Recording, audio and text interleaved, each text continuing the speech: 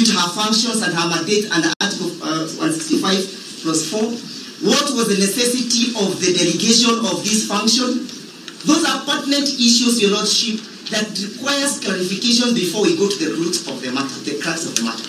It's our submissions, Your Lordship, that the Chief Justice, who is exercising delegated powers, cannot further delegate the Deputy Chief Justice. That's why the Constitution is in white and black, that the obligations and the duty belongs to the Chief Justice. Finally, Your Lordship, the reason why we find ourselves in this situation is because of what the court is struggling to explain to us.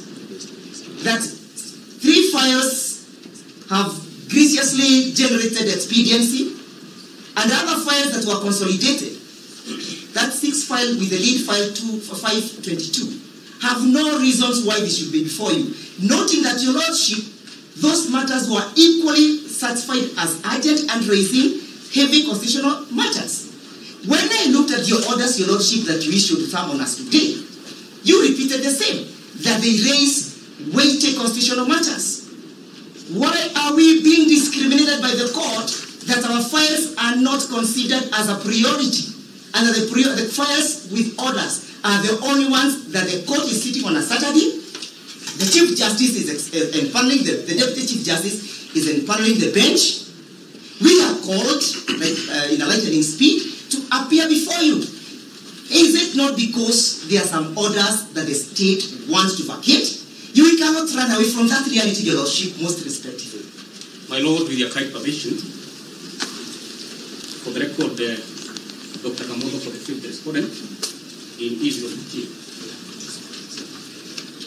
I believe the reason we are here and the reason why we took forum is because we recognize that there are different parties to these proceedings. So it will be abominable for a section of the parties to seek to colonize these proceedings and treat them as if they are the only ones entitled to the audience of the court. So in this regard, my proposal is as follows, that each of the party who has, whose representation has been taken, gets an opportunity to indicate to the court what applications they have before the court so that we're able to proceed methodically. And each party then, the court can then give directions on how we move to treat each of those applications. Otherwise, we may be here indefinitely if each of the parties takes the opportunity accorded to make lamentations, to make speeches, and to mourn.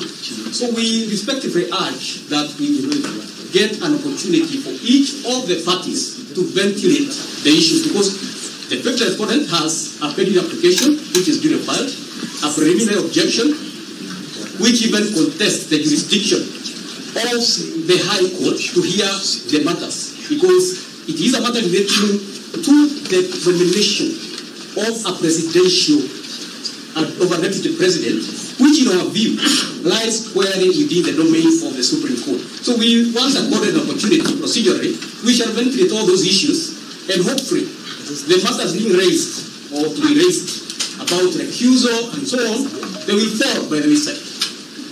Thank you, my lord. My for the fifth interest, for the first interested party, Mr. Lawyer, just, just, just a minute.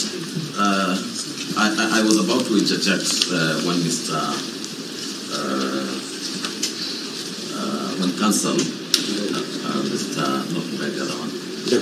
Yes, Debra was uh, addressing, and that is exactly uh, why I wanted to. I wanted us to have order in the way we, we, we conduct these proceedings. And I was about to ask Mr. Ndegwa, uh, after all that, what is your application? Your Lordship, I'm very clear in my application. My application for which The application can only come after I have spoken. we, we are now making an application, you respond. What is it that you want? Your Lordship, permit me to make an application under the Mutunga rules that following the disclosure of the court this morning that was made by Justice Mrima that this honorable court does determine whether the Deputy Chief Justice has the power to empanel the bench under Article 165, Clause 4 Your Lordship, and whether if she has any power of that nature, the same ought to be communicated to the members of the Republic by the Chief Justice.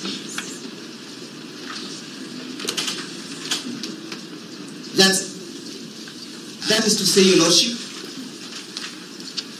that the Chief Justice has delegated her powers under Article 165, Clause 4 to empanel this bench. Your Lordship, this is the background of my application. That on the 14th of October 2024, the Honorable Chief Justice did, empanel this bench to hear and adjudicate over six matters which were consolidated with the lead file being 522. And the files that were consolidated, your lordships, my lady, were two, 522, 509, 537, 528, 525, and 546. Your lordship, it is our humble submissions that this bench was exclusively empaneled to handle those files. And that the communication was effectively made to the parties by the Honorable Chief Justice. I am giving the background of my application. And that we are aware that subsequently other files and the most important one is E014 of 2024, which came from Kerugoya, was equally slated for empanelment before the Chief Justice. To date, Your Lordship, there is no communication from the Office of the Chief Justice other than this morning that this file was equally empaneled and designated for hearing by this bench. Your Lordship, the other, uh, the other ground is this, Your Lordship that when we appeared before you on the 16th of October, Your Lordship, we sought your indulgence, Your Lordship, to have a further mention on the 18th of October. Lord, I'm sorry we are constrained to interject, uh, seek your guidance. My name is Muthomi, appearing for Professor Kindiki. Listening to my colleagues, he is making an application before this bench complaining about wrongs supposedly made by the Chief Justice and the Deputy Chief Justice in bringing us to this session of today. For me, the clarification I wish the court to provide is whether an application of that nature can be made informally without the CJ and the DCJ being made parties to that application and being offered an opportunity to explain so that uh, to be fair on uh, these state officers, it's easy to speak to the gallery and cast all manner of insinuations and aspersions against them. And if my Lord finds that an application of that nature cannot be made informally without actually filing a formal application and joining the CJ and the DCJ so that they have a chance to respond to these insinuations. I suggest again, and I beg the court, I'm a very junior counsel, but Professor Muigai wonders that we run the risk of coming to a court of law to speak to the gallery. In parliamentary language, what I fear is happening is what is called filibustering, my lord. To filibuster is where you go to a forum intended to deal with the business of the day, and you keep making speeches upon speeches that have no bearing on the business of the day, where the motive is to ensure that the business of the day is not conducted. To the best of my knowledge, the business of the day were there were applications on their side, there were applications on our side, and the court was graceful enough to give both sides an opportunity to come today to ventilate those applications. Instead, we've lost two hours, my lord. We have not been addressed on those applications. We are just filibustering. My my lord, perhaps if I may. Yes. Yes. But, but, but, my lord, you are, you are being invited to interpret Articles 161 and 163, 1B, 1 and 2, which designate the Chief Justice and the Deputy Chief Justice as head and deputy head of the judiciary. And you are being asked to inquire into the manner that they perform their duties as head of the judiciary and to interpret Article 165.4. That can only be a substantive, through a substantive application to which all parties must respond. I, I think my concern then, Ndegwa and uh, my friend uh, Kibe, is that you are taking the court for a long ride and are ending up wasting a lot of time in court. I wish you could go to the issues. If the question is, if you are ending up with an application for the disqualification of the bench, why can't you go to that point instead of beating around the bush, as you would say?